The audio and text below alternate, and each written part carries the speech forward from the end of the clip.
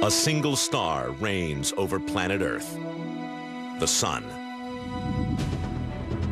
This supreme ruler grants life and takes it away, triggering cycles of withering heat and bone-breaking cold, pushing life to the very brink. Under the sun's command, merciless forces of wind and water rage across the planet's surface.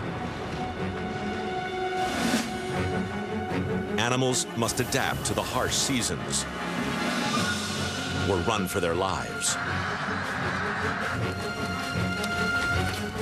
From pole to icy pole, in places life shouldn't exist, the planet's ultimate survivors carry on, fighting the odds to live another day.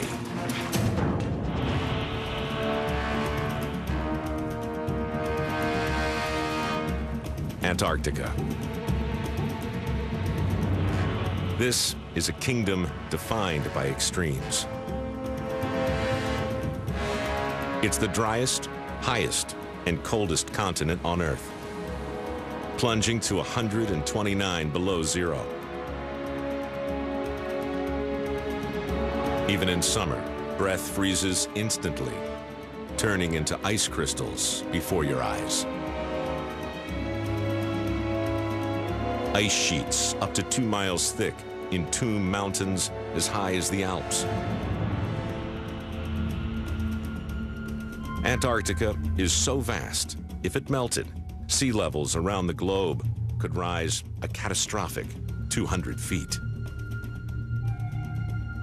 But now, winter sets in, and the continent's frosty grip advances. The sea ice expands relentlessly at more than two square miles per minute. In a matter of months, a continent bigger than the United States and Mexico combined nearly doubles in size. This is the most inhospitable place on Earth. And yet, as temperatures plummet, one animal heads straight into the teeth of the brutal winter.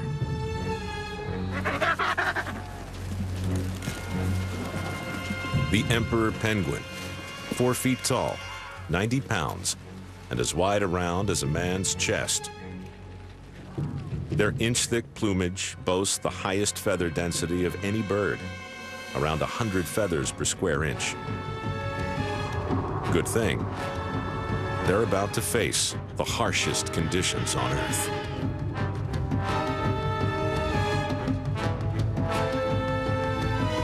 They trek up to 100 miles across the ice to the place where they hatched. One of only about 35 rookeries in Antarctica and a perfect shelter from winter's 100 mile an hour winds.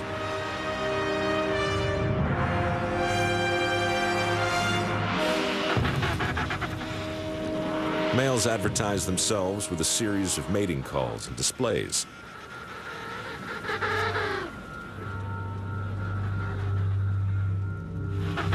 If a female hollers back, a match is made. During the three to five week courtship period, the partners continue their slow motion duet. Out here, just staying alive eats up every ounce of energy. The couple takes short walks and breeds frequently. Emperors stick with the same partner for the entire season, but only 15% pair up with the same mate the next year.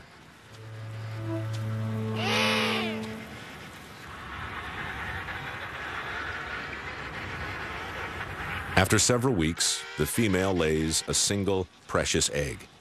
But her pregnancy has taken its toll, and she's far too weak to incubate it. So, the male steps in.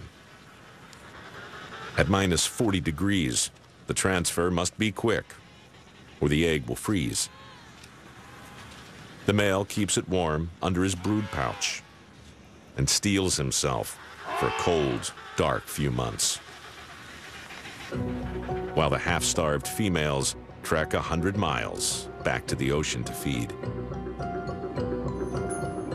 As the sun abandons Antarctica, it reappears at the northern pole. The Arctic is still locked in winter, but spring is coming. Unlike Antarctica, a frigid land surrounded by frozen sea, the Arctic is a vast frozen ocean surrounded by land. As winter comes to a close, the sun sweeps away four months of darkness.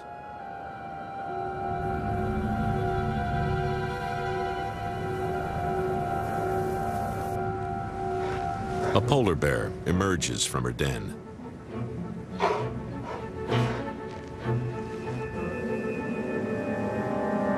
For five months, she's been confined in a crypt of ice, not much larger than her own body.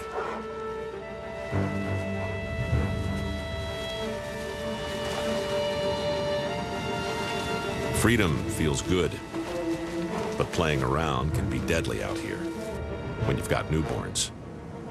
Hungry males have been known to cannibalize cubs just to stay alive.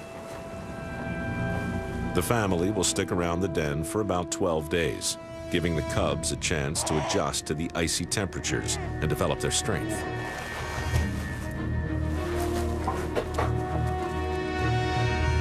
But the mountainside's a treacherous nursery.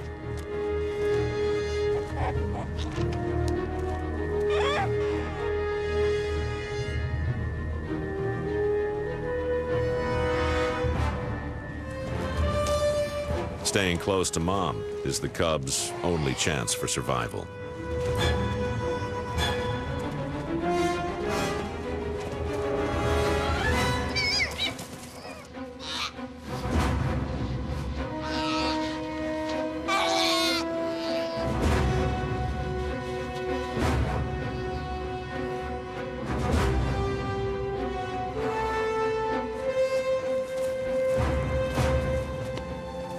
It's critical to fatten the cubs quickly.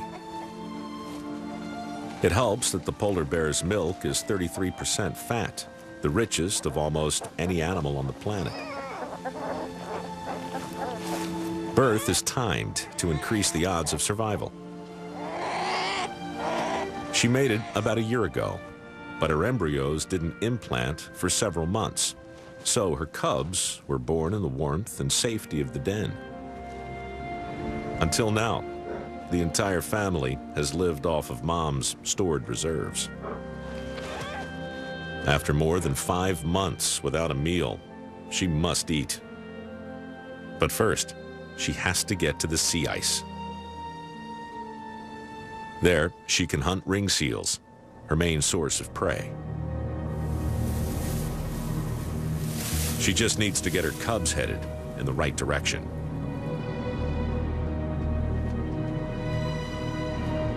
But this is dangerous business.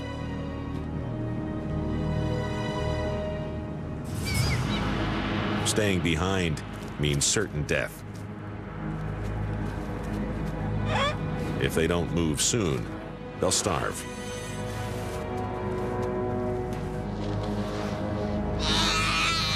Playtime is over.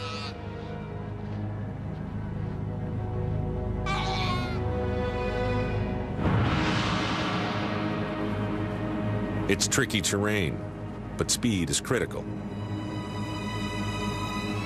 She must get them to the sea ice before it breaks away from shore. Adult bears swim well, but the cubs will freeze in the frigid water. Nearly half die in their first year, drowned, starved, or killed by predators. It's a loss the species can hardly afford.